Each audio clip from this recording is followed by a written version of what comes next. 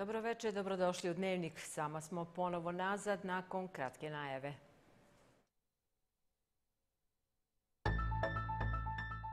Američki ambasador Marfi svečano otvorio obnovljenu zgradu Mješovite srednje škole u Bosanskom Petrovcu.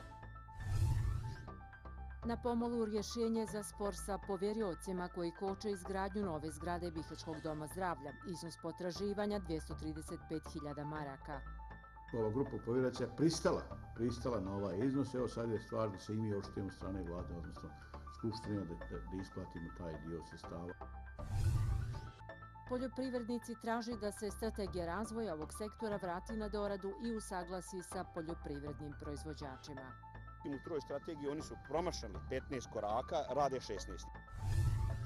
Zimnica ove godine dosta skuplja nego prethodne. U skupus najviše se traži krompir kojeg vreća košta 20 maraka. Krompir je slabo rodio ove godine. Krompir, sad je došao i glamočki, tako da je. Krompir je najaktuelniji bogat.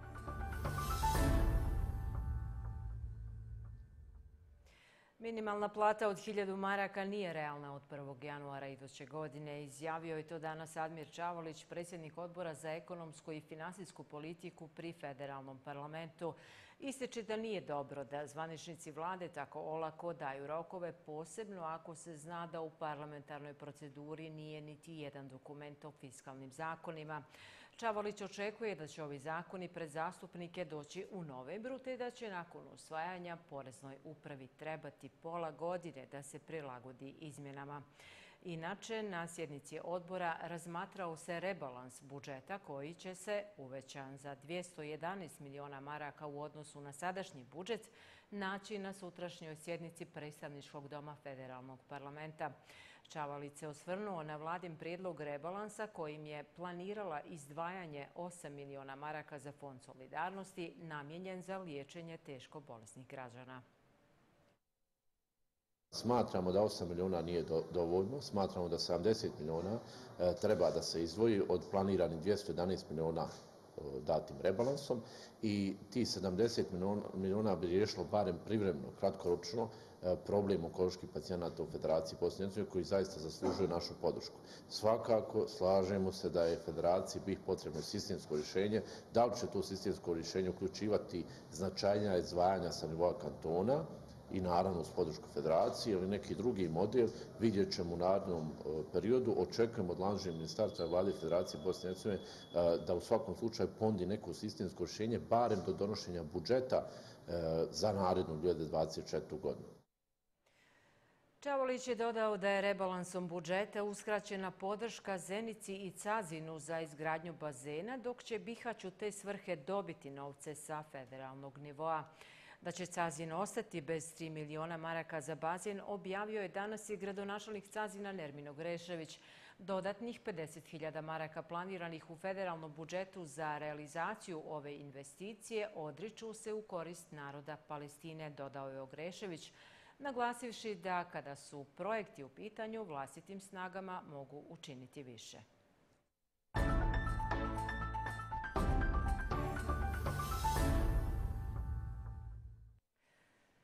Posjetom Bosanskom Petrovcu, američki ambasador u Bosni i Hercegovini Michael Murphy nastavio je i ujedno završio svoj boravak u Unsko-Sanskom kantonu. Susreo se s načelnikom općine Mahmutom Jukićem, s kojim je, osim o političkoj situaciji u Bosni i Hercegovini, razgovarao o projektima koje Bosanski Petrovac realizira uz podršku američke vlade i srodnih organizacija.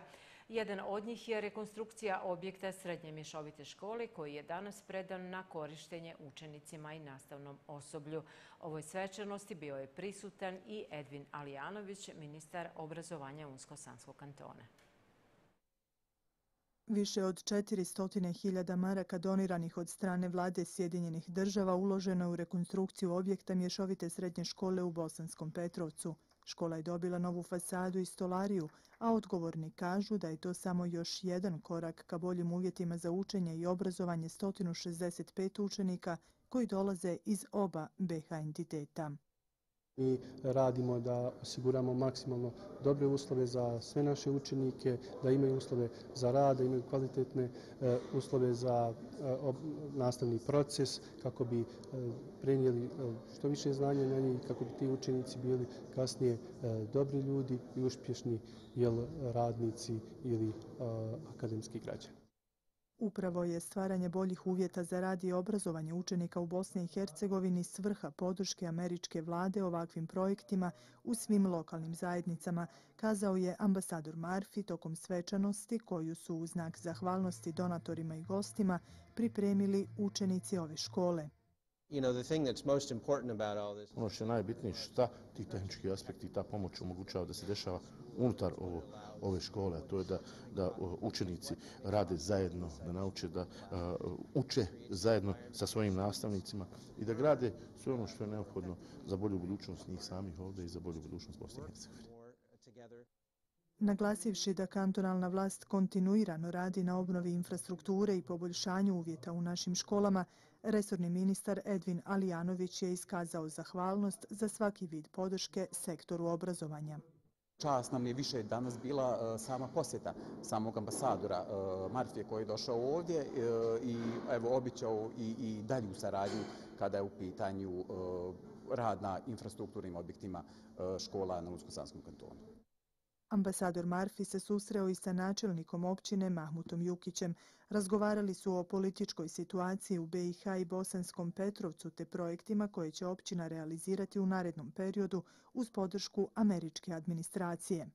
Vjerovatno, međunarodna zajednica i američka administracija je prepoznala ovdje e, pozitivan trend u Bosanskom Petrovcu kad je u pitanju e, suživot e, naroda koji žive ovdje, kad je u pitanju uvažavanje različitosti e, naroda koji žive ovdje i ja vjerujem da e, ovakvim pozitivnim radom u Bosanskom Petrovcu da ćemo i dalje e, sigurno imati podršku. Posjeta Bosanskom Petrovcu uslijedila je nakon jučerašnjeg susreta s predstavnicima kantonalne i vlasti u Bihaću, te otvaranja ureda za borbu protiv korupcije, čiju je uspostavu također finansirala vlada Sjedinjenih američkih država.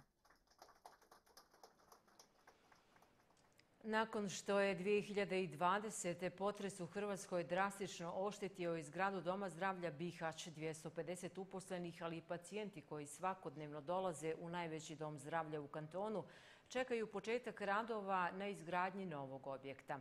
Iako na računu za ovu namjenu leži 6 miliona maraka, cijeli proces zakočen je zbog povjerilaca koji imaju potraživanja prema gradskoj apoteci, koja je poslovala u Domu zdravlja još prije rata. Kako zgrada nikad nije bila etažirana, problem se iskomplicirao te se nakon dugotranih pregovora došlo do rješenja. Iz Ministarstva zdravstva najavljuju da bi početkom iduće godine napokon trebali početi radovi na novoj zgradi. Na svakom koraku vidljivi su znaci oštećenja. Potres je prije tri godine ovu zgradu doslovno pomaknuo iz temelja. Priliv pacijenata svakodnevno je izuzetno velika, a oni, kao i sami uposlenici, neke dijelove zgrade koriste na vlastitu odgovornost. Od tog perioda pa do danas mi smo u nekim uh, vanrednim okolnostima radimo, pružajući maksimalno uh, da bi zadovoljili usluge uh, prema pacijentima, ne štedeći sami sebe. Eh, uslovi za rad sami su takvi kakvi jesu. Eh, eh, određene procjene jesu takve da se treba na osnovu tog oštećenja samog doma zdravlja raditi novi dom zdravlja. Do izgradnje novog doma zdravlja mi smo tu. Već tri godine radimo u otežanim uslovima, zaista u, u teškim uslovima. Brojni su primjeri tih tog rada u teškim uslovima. Došlo je usled potresa do slijeganja zgrade. Čitav kanalizacijoni sistem je došao, došao iznad i mi sad imamo problem s kanalizacijom koja, koja jako zaudara. E sad zamislite pacijenta koji sat vremena prima infuziju i zdravstvene radnike koji su tu s njim, pa ljudi se samo čude. Dakle, to je samo jedan primjer. Ispunjenje obećanja da će raditi u novoj zgradi nije ni blizu, pa je sindikat za sve uposlene u ovoj zdravstvenoj ustanovi tražio minimalno povećanje plata kako bi bar djelimično bili obeštećeni. Mi smo prije godinu dana tražili zahtjevom 5% na uslove rada svakom radniku, e, svakom radniku doma zdravlja. što je ljudski. Jer ako dolazimo na vlastitu odgovornost i izlažemo svoje živote, pa trebali bi imati evo, minimum 5% na uslove rada. Radnici do sad nisu dobili traženih 5%, ali ni naznaku da se kreće s izgranjem novog objekta. Razlog tome je kako ističe ministar Halkić što se posljednje dvije godine vodi pravna bitka oko dobijanja potrebne dokumentacije nužne za izdavanje građevinske dozvole. Svi su, da tako kažem, projekti završeni, glavni projekat, revizija projekta i tako dalje. Sad kad smo došli u poziciju da predamo, naravno, za izdavanje građevinske dozvole gradskoj upravi grada Bjelaća, došli smo na, na, na blokadu da je ZK uložak u gruntovnicu blokiran od strane grupe povjerioca koja ima određena potraživanja od doma zdravlja, ne ima nekakvih ulaganja prije rata od strane gradske apoteke. Nakon što je održano više sastanaka, postignut je dogovor da sudski vještak procijeni vrijednost 120 metara kvadratnih predviđenih za prostorije gradske apoteke. Riječ je o 235.000 maraka koji bi trebao isplatiti kanton kako bi se uklonila blokada u ZK ulošku, što će omogućiti da gradska uprava izda potrebne dozvole. Prema optimističnim najavama iz resornog ministarstva, već početkom naredne godine trebali bi započeti radovi na novom objektu Doma zdravlja. Vještak je procijenio, e, sad je e, e, ova grupa povjeraca pristala, pristala na ovaj iznos. Evo sad je stvar da se imi oštijemo strane vlade, odnosno skupštine, da, da, da isplatimo taj dio sestava i da idemo u dalje u proces izgradnje. Realno je očekivati, evo, konačno da ja mogu jednom reći da će to početka proljeća kad počne građevinska sezona i početi izgradnja zgrade Doma zdravlja Bihać. Ministar Halkić vjeruje da će se u kratkom roku provesti sve potrebne procedure s obzirom da je jedan dio sredstava već osiguran.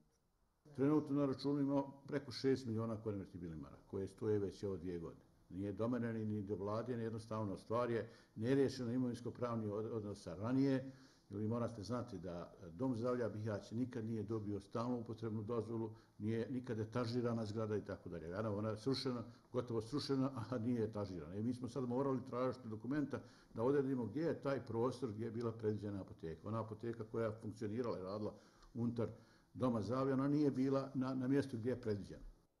Ono što je sad neophodno da se pokuša uraditi je vansudska nagodba s povjeriocima, te da se konačno okonča proces koji je zaustavio početak radova. S obzirom da je riječ o općem interesu, krajnje je vrijeme da sami pacijenti, ali i zdravstveni radnici, dobiju novu, modernu zdravstvenu ustanovu. Nastavljamo poljoprivredom. Strategija poljoprivrede i ruralnog razvoja Federacije od 23. do 27. godine, čija je priprema u završnoj fazi, koja bi se uskoro trebala naći na sjednici vlade, a potom i pred federalnim zastupnicima, nije dobra i treba ići na doradu. Mišljenja su poljoprivrednici. Kažu da je Resorno federalno ministarstvo ovaj dokument pripremalo bez učešća proizvođača koji traže da se prije nego li se usvoji ovaj važan dokument izvrši popis poljoprivrede i poljoprivrednih gazdinstava, formira Agencija za plaćanja u poljoprivredi i ruralnom razvoju, te uskladi zemljišno-knjižno stanje katastra i gruntovnice. Ukoliko do toga ne dođe, najavljuju čak i proteste. Da stanje u poljoprivredi nije dobro, govori i podaci da je u prošle godini u federaciji smanjena proizvodnja mlijeka i to za 7 miliona litara. Nihad Varcar, poljoprivrednik iz Bužima, do jučer uspješan proizvođač mlijeka, napustio je ovaj sektor, prije svega zbog dugogodišnje niske otkupne cijene, nedostatka radne snage i zahtjevne proizvodnje u mljekarstvu. Danas se bavi proizvodnjom po sistemu krava-tele. Ja nisam mogao, mogao više iz različine razloga baviti se proizvodnjom mlijeka, pošto je to izuzetno teška proizvodnja, baš onako robija, da se ne kaže. E onda, e, kad sam odlučio prodati tu farmu, onda mi je bilo dosadno.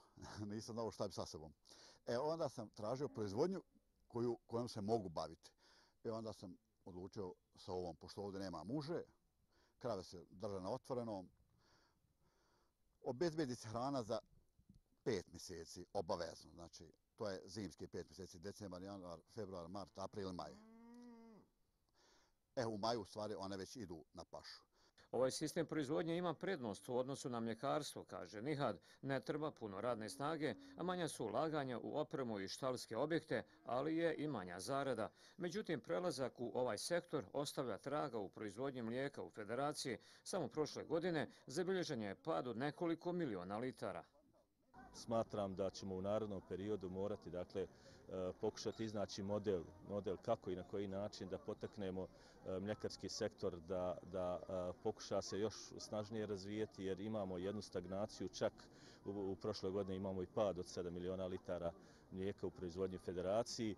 Na, iako imamo dobre poticaje, iako smo jel, uradili sve kako treba, ipak ta proizvodnja ne doživljava onu, onu ekspanziju kako bismo mi željeli. Hrnjić je najavio usvajanje strategije razvoja poljoprivrede federacije, čija je izrada u završnoj fazi i koja bi, kako kaže, trebala poboljšati ambijent u agraru. Međutim, poljoprivrednici nisu zadovoljni ovim dokumentom koji je po njima pun nedostataka, te se radi bez njihovog učešća. Oni sada turaju strategiju razvoja poljoprivrede 23. 27. godina, međutim u troj strategiji oni su promašali 15 koraka, rade 16 i tu strategiju kao što. Čevo je problem? Pa u tom je problem što mi nemamo e, znači popis poljoprivrede oni, i poljoprivrednih gazdinstava u BiH. E, nemamo zakon o poljoprivrednom zemljištu koji se poštuje, ima donesen, ali nikad se nije počeo poštovati.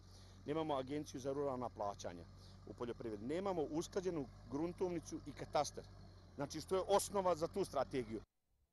Zbog tih problema najmanje 30% proizvođača ne može ostvariti poticaje, ističe Velađić, nezadovoljen je i prijedlogom poticanja farmera, ističe da u federaciji 1000 farmi proizvede 75% mlijeka, dok ostatak proizvode sitni proizvođači kojih je oko 3000 i koje bi vlada federacije strategijom trebala podstaći da prošire proizvodnju.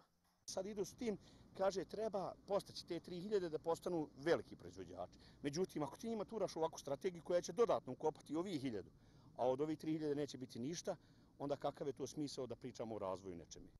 Velačić dodaje kako su svoje nezadovoljstvo prenijeli resornom ministru Hrnjiću, te da su spremni svoje zahtjeve braniti protestima.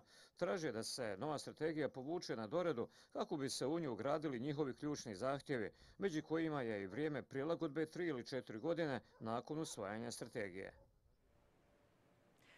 Zbog ovakve situacije u poljoprivredi ne čudi što je povrće skuplje nego godinu ranije, a time i priprema zimnice. Loši vremenski uslovi poplove, a potom suša dokrajčili su urod, pa se na pijacama i u veletrgovinama dobrim dijelom nalazi povrće iz uvoza. Domaćice kažu da je pravljenje zimnice isplativo samo u slučaju da imate svoje povrće. Kako su bašte i njive kod većine opustošene, sastojke za zimnicu nabavljaju na zelenim pijacama. Na jednoj od bihečkih zeleni pijaca nema uobičajenih gužvi. Jedan kamion sa naslaganim vrećama kupusa tek je podsjetnik da je jesen došla na velika vrata te da je vrijeme zimnici. Međutim, cijene povrća diktiraće u mnogim domaćinstvima nabavku zimnice. Za vreću kupusa građani moraju izdvojiti od 8 do 10 maraka. 8 maraka je i vreća paprika sezona je zimnice, kiseljenje kupusa, to je ono što se kaže 15.10. dok idemo kiselimo i to je to. Jeste li već vidjeli cijene, jesu li pristupačne? Pa, kako sad za koga, iskreno? Prošli sam mjesec pravo tušiju, baš sam tu kupovala. Mogu, može se naći cijena, pristupačna stvarno. I kupus se u svemu, pošto ne radim, djeca su mi tu. Djeca su vani, iskreno ne bi mogla. Iskreno ne bi mogla. Bez njih ne ipak ti računi, nemamo primanja, čovjek je dobio tu minimalnu penziju u Bosansku. 530 maraka treba da se mjesec dana živi.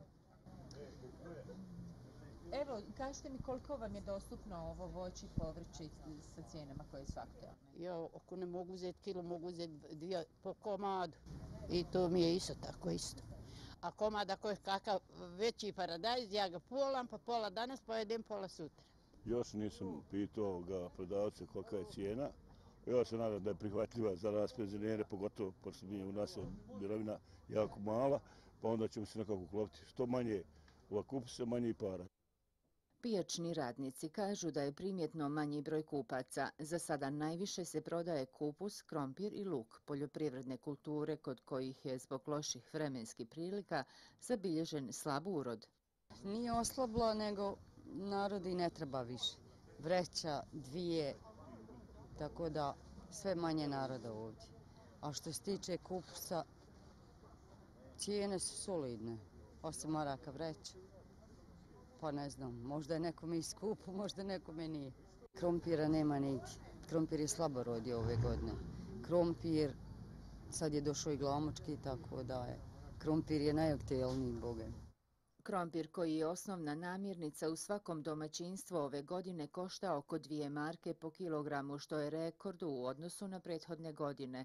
Slab rod ove poljoprivredne kulture bilježi se ne samo kod nas, nego i u zemljama Evropske unije, što bi u narednoj godini moglo dovesti do viših tržišnih cijena. U zemljama Evropske unije koji su e, poput Njemačke, Holandije e, i Francuske koji su najveći proizvođači krompira, oni su e, e, baš suprotno od nas imali velike štete od suše, tako da je, ovaj, mislim da cijena krompira e, u konačnici može ići samo gore, jer svi su, svi su pokazatelji da će to biti tako. Uvijek je negdje rodilo.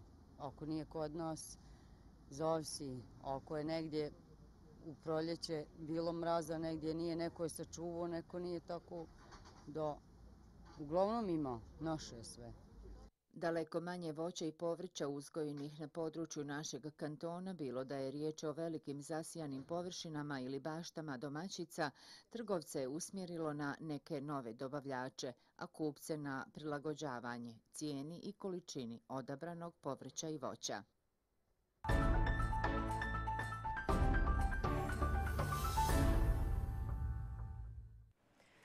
Kantonalna privredna komora nastavlja s realizacijom programa naziva Novi lideri Unsko-Sanskog kantona u saradnji sa institucijama i organizacijama. Riječ je naime o programu prepoznavanja i umrežavanja novih liderskih snaga koji se upoznaju s organizacijom, poslovanjem i funkcioniranjem institucija umjetničkih i organizacija kulture, dobrotvornih organizacija, turističkih i obrazovnih institucija. Na današnjoj radionici govorilo se o turizmu, odnosno realiziranim i budućim projektima turističke zajednice Bihać i Cazinskog centra za kulturu i turizam. Program Novi lideri odvija se uz podršku Kongresa Bošnjaka Sjeverne Amerike i Privredne komore Naples, Florida. Mi na taj način želimo da stvorimo jednu atmosferu e, na našem kantonu, da mladi ljudi vide da tu postoji e, onaj potencijal za ostanak. Obzirom da obnašam tu funkciju lidera, odnosno tog direktora ili koordinatora, jako je bitno da imamo priliku da učestvujemo u ovako jednom projektu i smatram da će ovo pored nas koji smo zaposleni doprinijeti i studentima, a i ostalima koji se žele baviti time. U Bihaću je danas održano kantonalno takmičenje za učenike osnovnih škola u malom nogometu na kojem su učešće uzele najbolje ekipe iz svih gradova i općina kantona. Prvo mjesto osvojili su učenici osnovne škole Ahmet Hromađić iz Bosanskog Petrovca, drugo osnovne škole 5. oktober iz Sanskog mosta, treće osnovne škole Pužim, dok su se na četvrto mjesto plasirali učenici Velikog Kladuške osnovne škole 25. novembar. Organizatori takmičenja bili su Sportski savez Unsko-Sanskog kantona i Društvo pedagoga tjelesnog odgoja iz Bihaća. Na završnici kantonalnog takmičenja u nogometu koje je udržano u Bihaću odigran je veliki broj zanimljivih i kvalitetnih susreta sa puno lijepih poteza i golova. Drago mi je što sam prvi put ovdje, što ćemo možda i osvojiti kantonalno osvojili smo općinsku, sad, idemo, sad smo možda osvojiti kantonalno, pa sad kako Bog dade. Imamo sad još jednu utakmicu i ako pobjedimo, igramo za treće mjesto utakmicu, ako izgubimo, ništa. Učešće na takmičenju uzelo je 85 dječaka i djevojčica iz osnovnih škola koji su na općinskim i gradskim takmičenjima pokazali najviše. Cilj današnjeg ovog druženja je da, da su djeca ovdje u ovoj dvorani. Što je najbitnije da nisu po ulici, da nisu po kafanama. Da bismo došli na završnicu kantonalnog takmičenja, škole po svojim općinama organiziraju općinska takmičenja i pobjednici sa općina danas su prisutni na završnici malog nogometa. Uz atletiku radi se o najmasovnijem takmičenju koje se organizira na nivou kantona, a koje se realizira u okviru programskih aktivnosti Sportskog saveza Unsko-Sanskog kantona. U četvrtak već u Cazinu imamo nogomet, mali nogomet za srednje škole.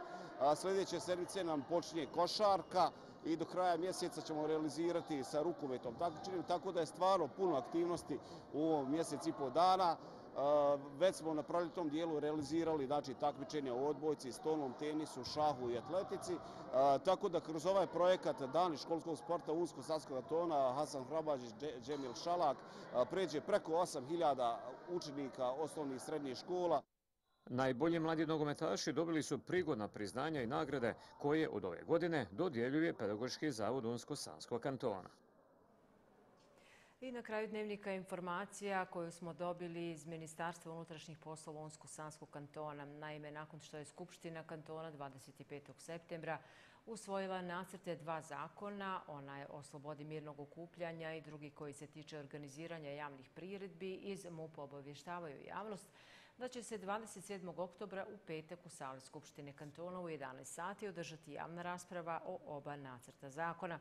Podsjećaju da su tekstovi zakona dostupni na zvaničnoj web stranici MUPA Unsko-Sanskog kantona.